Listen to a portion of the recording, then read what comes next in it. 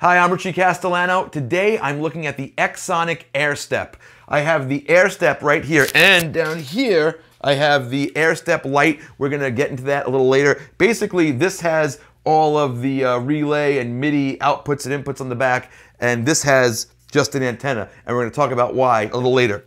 Now we're looking at the back of the AirStep. You're gonna notice something different than most MIDI controllers. This has two MIDI outs. Most of them have one. This is cool because you don't have to do through or loops. You can actually just plug the individual units into this, which works really well. You have two foot switch outs, but don't be deceived. These are ring tip, meaning you can control two different things from each of these foot switch jacks, meaning you can control four things. Things meaning relay switches, uh, tap tempo, amp switching, anything you can think of. Anything that has a quarter inch jack where you can control something externally, you can do it from here. Uh, you also have a MIDI in, you have a USB and a MIDI in for receiving information. Uh, two expression pedals. Uh, so you can map that in the app. We're going to get to the app a little later. Then you have this wireless antenna for Bluetooth. And again, we're going to get to that with the app, and we're going to get to that with the uh, AirStep Lite in a bit. And then our function and power switch. You'll notice in the front, we have five heavy duty foot switches with LEDs on each of them. So let me talk about this crazy setup I have here today. I tried to make it as complicated as possible. What I'm using is I got my guitar, it's going into this VHT Valvulator GP3 preamp. This is a great preamp. It's all tube, it's got three channels. This has MIDI, but it also has relay switches for all the parameters on here. Today we're not using the MIDI. I wanted to focus on the relays just to show you how powerful they are.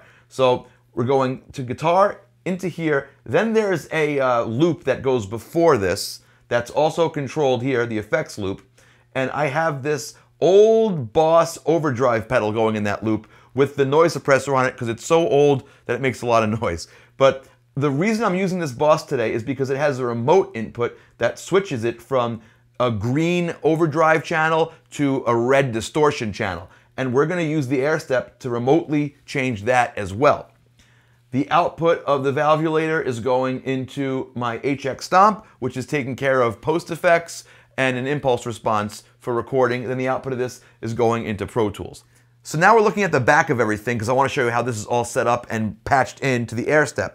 MIDI out one is going to my HX Stomp's MIDI in. Foot switch out one, this is actually a TRS cable. It has the uh, tip ring and sleeve. You can see the two little uh, circles there, two black rings. That is going into my preamps channel changing uh, relay. Then we actually have a TRS to dual mono cable coming out of foot switch 2. One side, the tip, is going into the effects loop control of the VHT. The ring is going into the remote control of my pedal. And that's it. That's how everything's set up. Uh, and this is going to control a lot of stuff just with these three cables plugged in. Now, the HX Stomp is amazing. It does a lot of stuff, but it has three foot switches, and I have six blocks. So I need more control over that, and that's where the AirStep is going to come in. So let me talk about this preset. First, I have a compressor. Then I have a harmonizer. There's my impulse response. I have a chorus, a delay, and a reverb. All right? And I'm going to control all these things. The way I'm going to use this today, the way I want to set up the AirStep is I want these first three buttons to be like presets, and then these two buttons are going to be toggles, so I can toggle things within the presets. Not presets on the stomp, but presets of this whole rig where everything's going to change. So how do we set this up? Now we have to go into the app. So now we're looking at the AirStep app. You'll notice there are five buttons here, A, B, C, D, and E, that correspond with the five foot switches on the AirStep pedal. We also have MIDI in, Expression 1 and 2, which we won't be using today. Uh, and we also have a row down here for the AirStep Lite, which we'll get to in a little bit.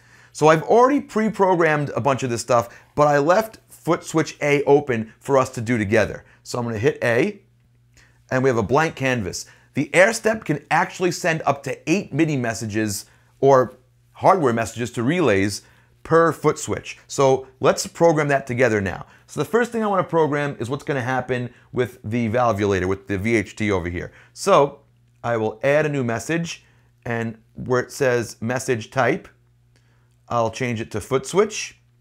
And I want to do foot switch. I want to do the ring and tip for foot switch one. And I want to turn it off latching.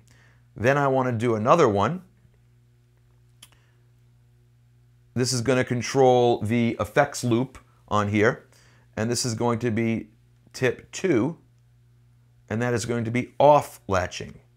All right, so that takes care of the VHT preamp here. Now let's get into some of the MIDI stuff. So I have all of these blocks inside the HX Stomp uh, controlled by CC numbers. So that's how we're gonna do it here. So the first one on my clean sound that I'm trying to make here, I want my first block, the compressor, to be on, and that's controlled by CC number 20. And to make it on, I'm going to put the value to 127. So that's set up. And then I want to make sure when I hit this, anything I don't want to be on is going to be off, set to zero. So in this next one, this is going to be 21, which is my harmonizer, and that's going to be off, zero, so we'll keep it there. The next one is going to be my chorus, which we want on, so that's going to be 23. And these numbers are just numbers that I picked arbitrarily. They can be whatever you want depending on your setup. So this will be on, good. And then the next one, which is the delay, that is, I have that set to 26. That will be off as well. And then my reverb, which I have set to 25, that will be on. Okay, I'm gonna hit done. Then, uh, let me name it. So we'll call this clean.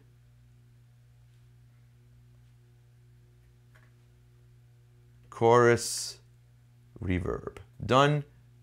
And then we hit save. There's my name. And it'll write it to the AirStep. Save successful. Great. So now let's see what happens. I'll go on another one. So now when I hit the first button, it went to the clean channel on my VHT. And if you'll notice on the HX Stomp, it's got my compressor on, my chorus on, and my reverb on. So it worked great. So now we have the first channel set up, my first foot switch. For the second foot switch, I wanna go to the orange channel here on my preamp, and I want to engage this effects loop. I also want a little bit of delay from the HX Stomp. So let's talk about how to do that. I have a lot of stuff happening here on this switch. So the first message is going to uh, ring one, which is to control, which is, I believe, to turn off my clean channel. And then we have one going to two tip, which is to turn on the effects loop. Then I have a bunch of MIDI messages. So 21 is going to turn off my harmonizer. 23 turns off the chorus. 25 turns off the reverb, 26 turns on the delay. Now I have uh, one tip off. I believe that turns on the rhythm channel. And then we have the compressor off over here. So let's see how that works. So by turning on the effects loop, now we're actually sending the guitar through this overdrive pedal before going into the amp. Now something I mentioned before is that this is a dual overdrive pedal. It means it has two modes. There's a green mode and a red mode. So check this out. On switch E over here, I have a, an overdrive mode toggle. So I put it into toggle mode right there and I'm controlling ring 2 now. So when the toggle is on, ring 2 is in the off position. When the toggle is off, ring 2 is in the on position. So check out what this does.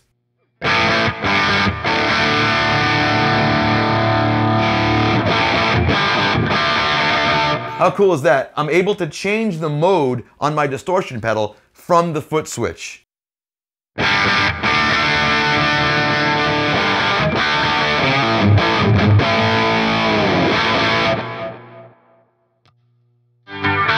So let's take a look at what's happening on the third foot switch.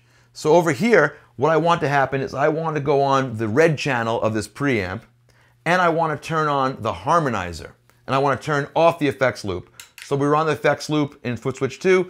Let's see what happens here. So now we have ring 1 off, tip one on, tip two off. That's turning off the effects loop.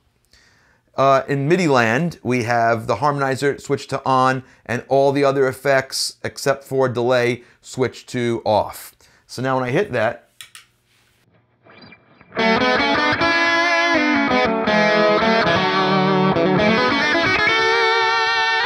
So there's a harmonizer. But let's say I want to be able to change the scale from major harmony to minor harmony. Now I can do that with this. So I'm going to hit D and you'll notice that I have a toggle again, toggle mode set up and I'm doing control change 22 which is inside the helix. I have that set to major and minor. Let's go over and take a look at it. There we go. You can see major. So on the toggle on position, uh, CC22 is on, and toggle off is CC22 off. So let's see what happens. All right, foot switch 3 is pressed. Let's listen to the major harmony. Major. Let's hit foot switch 4, change it to minor.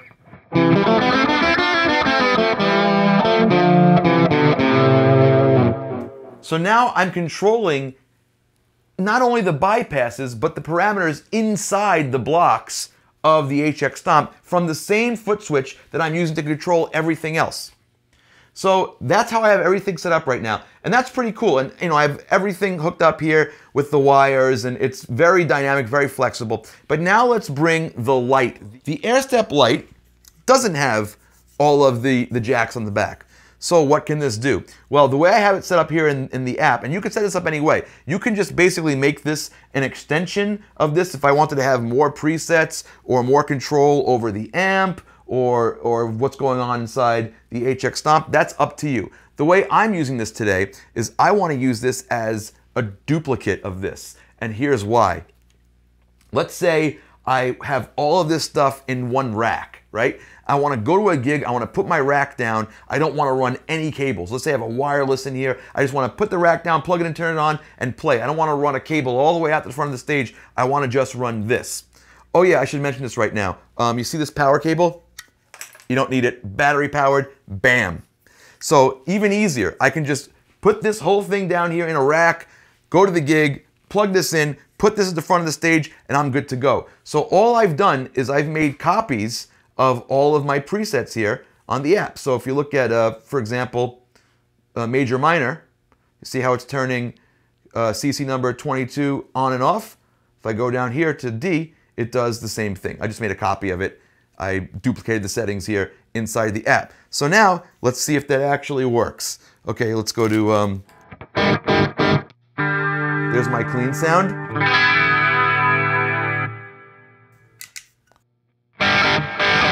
There's my dirty sound.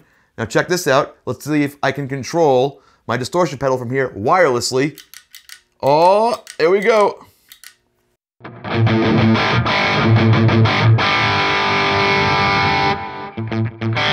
Pretty cool. Uh, and then we have our third channel with the, with the harmony. Let's go to minor.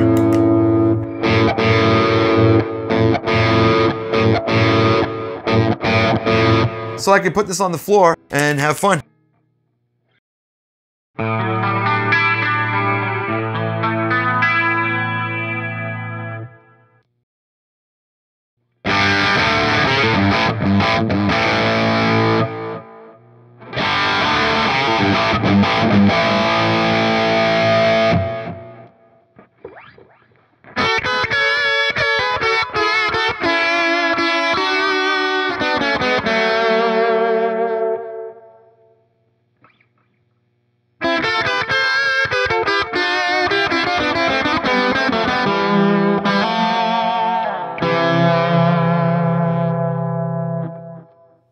So that's the AirStep from Xsonic and the AirStep Lite. This is actually a really easy way to control multiple pieces of gear. You don't need a gigantic MIDI controller. It's very small, lightweight, it's metal. You can really stomp on this thing. And uh, the AirStep Lite is a great addition to this. You can extend the controls here, or you can mirror it like the way I'm doing it, and have all this stuff in one pre-cabled rack with a wireless system. Plop this in the front of the stage, and you're good to go. I want to thank Guitar World for making this video possible, and I want to thank Xsonic. I hope you enjoyed this video. If you did, please like and subscribe, and I'll see you next time.